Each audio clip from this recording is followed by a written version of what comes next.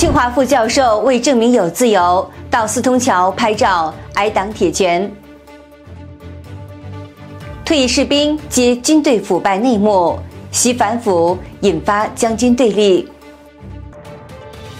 中共驻美大使公开示好美国，农夫与蛇难再重演。中太空军演习歼十一不尽人意，惊出中共一身冷汗。台湾大选前，中共放话不要越红线，台海风险仍在。大家好，欢迎您收看国际新闻眼，我是美玲。一名清华副教授为了说服学生中国有言论自由，特意到北京敏感地带四通桥拍照，结果却挨了党的铁拳，被警察登记。这行为招来网友热议。一月八号，新闻调查在 X 平台贴出四张截图，一张是清华大学马克思主义学院副教授蔡万焕的真实履历，另外三张图片是相关聊天群截图。从截图的聊天记录显示，一月三号当天，有知情人士披露，蔡万焕太离谱了，他上中特课、中共政治课，给学生讲中国的言论自由。有同学说，他去四通桥拍了张照片。结果被警察给抓了，但蔡万焕不信，说中国共产党不会这样干。结果今天自己去四通桥拍照片，也被警察给登记了。聊天截图中显示，有人回应说，是应该让马院老师们都去调研一下人间的疾苦，看一下啥是中国特色。这个爆料也引来网友的热议。一辈子学习与工作，原来只是一个谎言。这个老师会像楚门的世界一样崩溃掉。有人指出，铁拳不打到自己身上，总是吆喝别人造谣抹黑，拿出证据要极力维护掩饰；真正打到自己了，就直接破防了，用现实经历给自己上了真正的思政课，感受了下党的小小铁拳。也有人质疑，这个盲目相信中共的副教授说：“看到他是清华马克思主义学院副教授了吗？”岁近小清新有什么奇怪的？奇怪的是，都考上清华了，学这个专业的人到底是什么脑子？日前，几名退役的士兵揭露中国军队腐败的内幕。有分析认为，习近平在军队的反腐清洗，导致他和将军们产生了对立。中国军方持续移动，引发各界关注。继火箭军高层被习近平一锅端以后。军队总装备部也有多个军官落马，中共免去了九名高级军官的全国人大代表职务，并且撤销了三个军工企业高管的政协委员职务，这反映出中国军队对习近平并不忠诚，而且腐败屡禁不止。对此，台湾国防安全研究院战略资源研究所所长苏子云表示：“一党独裁是没有办法根绝贪腐的。”虽然习近平上台以后整肃了大批官员，但是贪腐问题却是越捅越大。苏子云表示，反贪是重中之重，没错。可习近平用的是无效的做法，就是越反贪腐，共产党执政根基就越弱。中国军队也是一样，越反贪腐，军队就会越反习近平，因为他不得人心，无法公平去处理这些事务，就等于是自掘坟墓。从中国军队退役的人士亨特里也向大纪元披露出很多内幕。他说，中国军队兵员素质比较低，很多都是农村兵，真有点能力的谁会去当兵？当兵只是为了吃粮和镀金，当几年兵后分配一个工作。他指出，现在孩子都是独生子女，都是不得已去卖命的。退役女兵白女士表示，部队的腐败是普遍性的。转士官一期多少钱？二期多少钱？三期多少钱？如果是从军校毕业后不想做技术的，改做正工，还要再花多少钱？然后是连长、营长给多少钱？营长再提团副要给多少钱？都是有明码标价的。他披露说，当女兵都是要钱的，二十多万人民币吧。白女士直言，中国部队真的没有任何优点，到处都是腐败。连我们的伙食费都克扣。亨德里披露说，中共指挥系统效率是比较低级的，他们当时在连队里战术比较落后，基本上合成演练的时候很少，一般情况下都是单兵技术。他说，可能两三年演习一次，其实都是假把式，领导来看一下就行了，差不多就能过关。装甲车里剩的油都是要卖的，很腐败。军队腐败现象触目惊心，习近平还在持续整肃军队，这对他自己来说也带有不利因素。前中共海军司令部中校姚成在 X 平台表示，习近平的反腐的确导致他和将军们的对立。中共的腐败是制度性的腐败，只有改变体制才能有效反腐。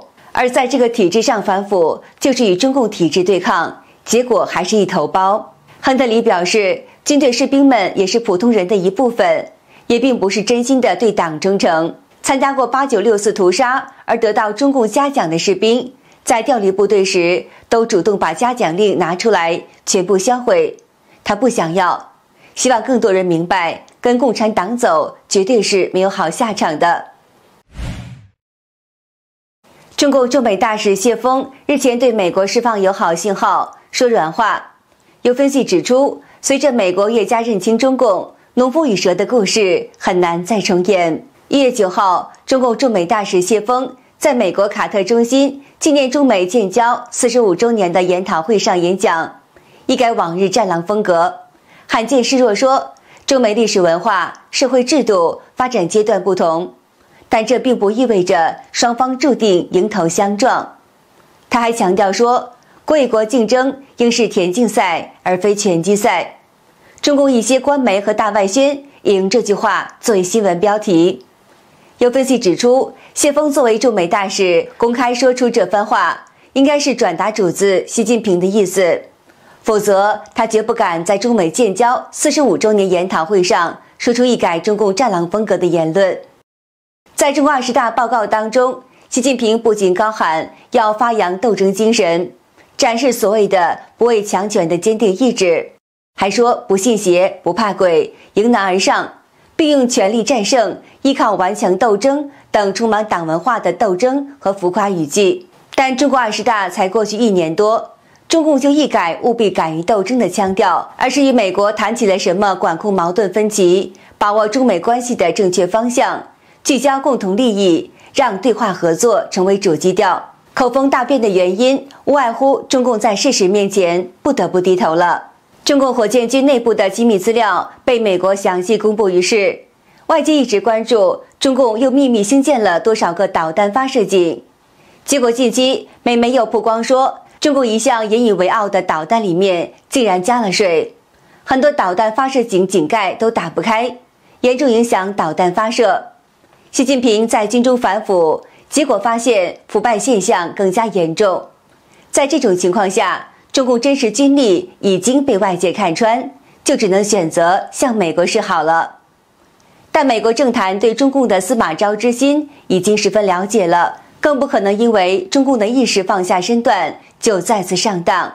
所以可以看出，中共想再上演农夫与蛇的故事，就不那么好忽悠人了。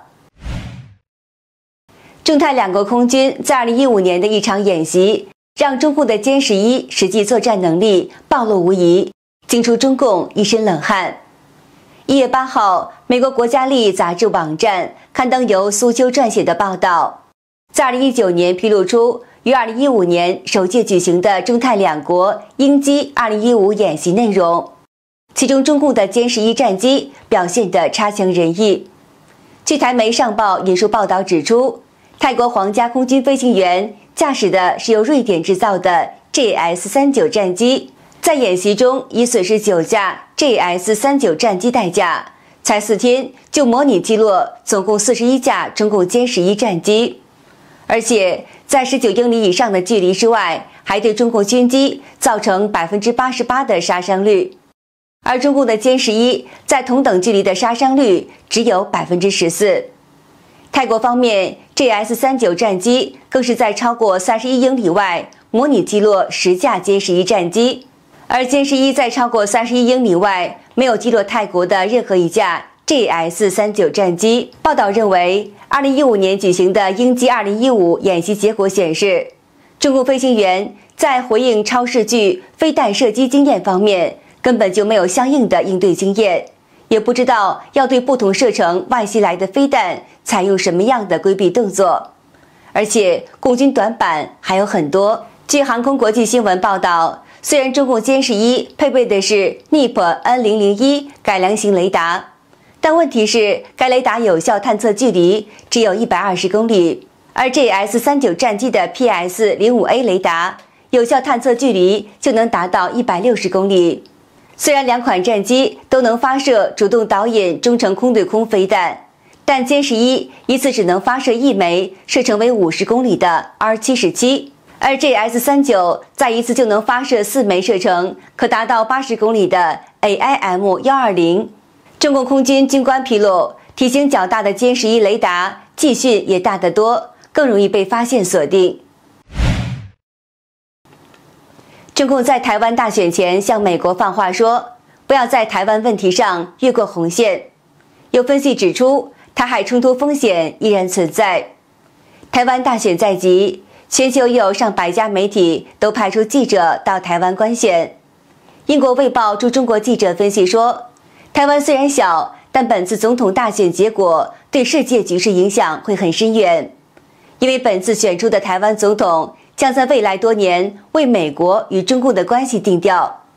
该记者也认为，直到今年十一月美国大选的结果出炉前，美中两国关系都不会太稳固。一月十号，据美国之音报道，被外界认为可能出任中共新外长的中共对外联络部部长刘建超率团访美。一月九号，刘建超在一场研讨会上公开向华盛顿喊话说。不要在台湾问题上越过红线。刘建超也强调说，中国没有寻求重塑全球秩序，而是希望加强与美国的合作。刘建超的这番一反中共战狼风格的言论，也和欧亚集团总裁兼创办人伊恩·布雷默早前对中共在2024年的表现预测的相一致。布雷默曾说，中共因经济面临严峻挑战而发起的魅力外交攻势。很可能在二零二四年持续下去，但这只是中共的战术性退让，并不能真正反映出习近平改变了初衷。华盛顿智库战略国际研究中心中国政策专家甘思德认为，中共对台湾大选的结果虎视眈眈。虽然台海两岸暂时还没有发生冲突的风险，但仍需要高度警惕。